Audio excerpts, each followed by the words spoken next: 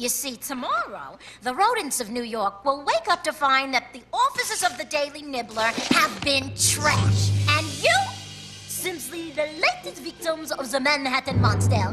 You see,